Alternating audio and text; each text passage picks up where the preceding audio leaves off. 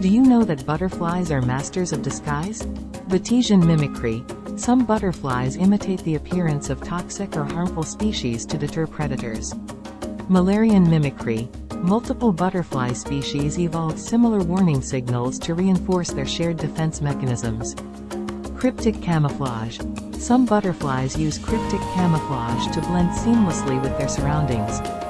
Coloration tricks.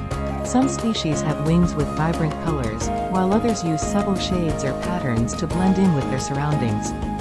Mimicking harmful organisms provides protection and increases survival rates for butterflies.